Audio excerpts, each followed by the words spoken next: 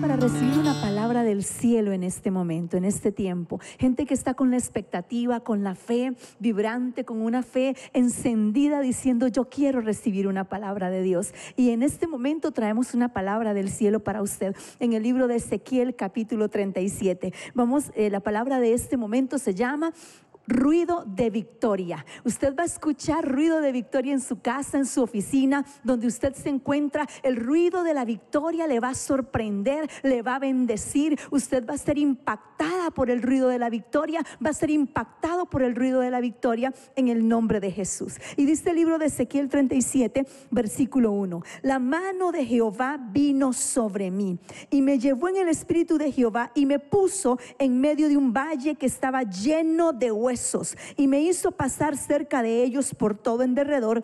Y aquí que eran muchísimos sobre la faz del campo y por cierto secos en gran manera. Y me dijo, hijo de hombre, ¿vivirán estos huesos? Y dije, Señor Jehová, tú lo sabes. Verso 4. Me dijo entonces, profetiza sobre estos huesos y diles, huesos secos, oíd palabra de Jehová. Precisamente el lema de esta maratónica es, su palabra permanece para siempre. La Biblia dice que el cielo y la tierra pasarán, pero su palabra jamás pasará. Me llama la atención que Dios lleva a Ezequiel a un valle lleno de huesos, a un valle de desastre. Yo no sé cuál es el escenario tuyo en este día. Yo no sé si estás en el valle de los huesos secos donde no se ve esperanza, donde no se ve vida, donde todo está seco, donde la muerte impera, donde la muerte se estableció. Pero lo que yo quiero decirte es que a pesar de eso, Dios lleva a Ezequiel a aquel lugar y le hace una pregunta.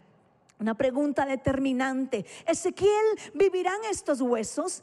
Definitivamente Ezequiel prefiere decir no lo sé porque el escenario era tan desastroso, el escenario era tan negativo que Ezequiel no se atrevía a decir si sí o si no. Prefirió decir no lo sé. E inmediatamente Dios se levanta y le dice a Ezequiel, declara, profetiza sobre eso que está acabado. Yo no sé qué estás viviendo hoy. Yo no sé cuál es tu situación, pero Dios pone una palabra de la boca de Dios a la boca de Ezequiel. Una palabra de Dios que permanece para siempre. Una palabra que puede cambiar tu crisis. Una palabra que puede cambiar tu situación. Una palabra que puede cambiar el momento que estás viviendo en esta hora, mujer. Quizá tu relación con tus hijos está difícil, está compleja. Quizá tus hijos están rebeldes, quizá tu relación matrimonial está complicada, pero yo vengo a decirte en esta hora que Dios te está preguntando, ¿qué va a pasar con eso? ¿Quiere que le diga algo?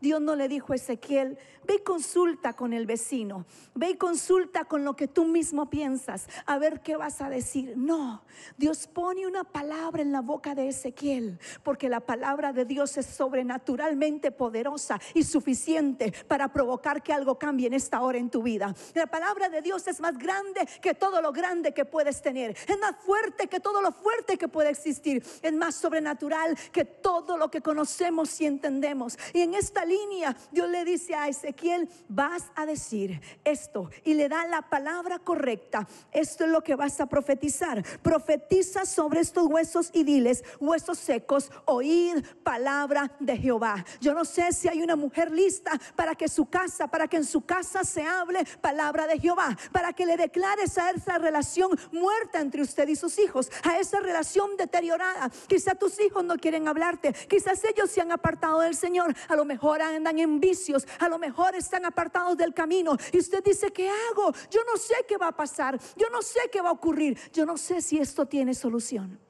Cuando Dios le pregunta a Ezequiel, ¿qué va a pasar con los huesos? Ezequiel no sabía qué iba a pasar estaba igual que usted. Yo no sé qué va a pasar. ¿Vivirán estos huesos? Yo no sé, Señor. Solo tú lo sabes. no es problema no saber qué va a pasar. Lo que tú tienes que encargarte en este momento es en poner una palabra de Dios en tu boca y asegurarte que en tu boca esté la palabra que permanece para siempre, la palabra que no es destruida, la palabra que no es acabada. Y dice la palabra del Señor en el verso 5, así ha dicho Jehová el Señor a estos huesos, he aquí yo hago entrar espíritu en vosotros y viviréis. Y dice el verso 7. Profeticé pues como me fue mandado, hablé como me fue dicho, dije la palabra de Dios, puse la palabra de Dios en mi boca y dice, y hubo un ruido mientras yo profetizaba. Wow, qué poderoso. Y mientras Ezequiel hablaba, un ruido de victoria empezó a escucharte, a escucharse, un ruido de victoria empezó a provocar que el ambiente fuera cambiado. ¿Sabe? Mientras estaban los huesos secos ahí no se escuchaba nada, no había ruido de ningún tipo, no había movimiento, no había nada. Hay hogares donde no hay movimiento, donde impera la indiferencia. Mujeres que tienen esa relación con sus hijos tan complicada. Hogares donde impera el dolor, donde está gobernando la crisis pero cuando empieces a abrir tu boca, declarando la paz de Dios que sobrepasa todo entendimiento, declarando vida del cielo, el ruido de victoria va a empezar a escucharse, el ruido de victoria va a empezar a oírse, ruido de victoria en los hogares, ruido de victoria en Argentina, ruido de victoria en el nombre de Jesús de Nazaret en Panamá, ruido de victoria en Colombia, ruido de victoria en Costa Rica, ruido de victoria en Nicaragua, el ruido de victoria empezará a dejarse oír lugares donde no se escuchaba nada. Yo puedo imaginarme Ezequiel. Cuando él entró a ese valle ahí no había nada, no había vida, solo habían valles, no había ruido, no había movimiento. Pero cuando Ezequiel empieza a hablar lo que Dios le dijo que hablara, lo primero que empieza es un ruido. El ruido es el comienzo de lo que Dios va a hacer. El ruido es el inicio de lo que Dios va a hacer. Dice la Biblia que inicia un ruido impresionante. Dice, y mientras yo hablaba, mientras yo profetizaba, mientras yo declaraba, el ruido empezó a sonar. Mientras yo hablaba, el ruido empezó a ocurrir. Aleluya. Yo estoy convencida que en esta hora, que en este tiempo, que en este momento, cuando tú empieces a hablar, cuando empieces a declarar, cuando empieces a tomar tu teléfono para llamar, el ruido de victoria tocará tu casa, tocará tu familia, tocará ese hospital donde estás enfermo, tocará esa cárcel donde estás cautivo.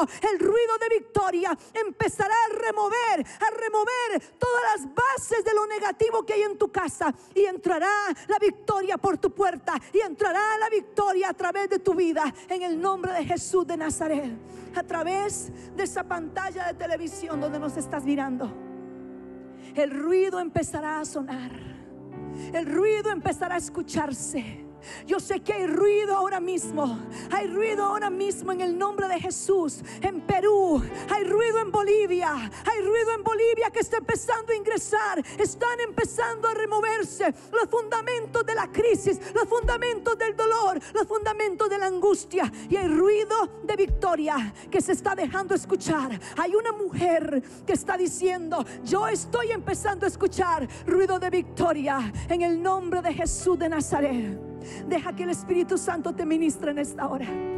Deja que el ruido empiece a llenar tus oídos. Tus sentidos espirituales empiecen a ser activados por el ruido del cielo, por el ruido de Dios. Y antes de pasar a la música, quiero decirte algo.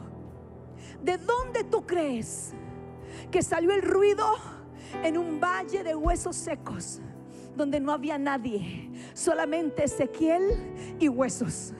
No había más nadie en aquel lugar. No había presencia humana que pudiera provocar ruido. Ese ruido vino. Ese ruido vino provocado por una palabra de Dios. Por una palabra de victoria. Por una palabra. Por una palabra. Porque hay una palabra que está provocando ruido en esta hora. En tu vida. En tu casa. En tu ministerio. Ahí donde tú estás mujer. En la relación con tus hijos. Hay un ruido que está levantando vida. En el nombre de Jesús de Nazaret. Y vamos a adorar y vamos a adorar juntos y vamos a declarar y no te detengas, levanta tus manos ahí con nosotros y empieza a declarar que ruido de victoria empieza a entrar en tu familia en el nombre de Cristo Jesús, aleluya.